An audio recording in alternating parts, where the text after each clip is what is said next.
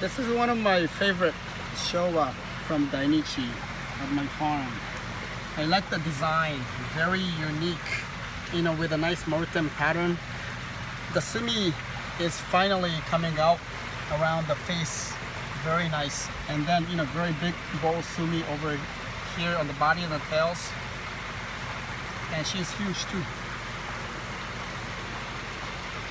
This is a very unique and beautiful Showa from Dainichi Koi Farm.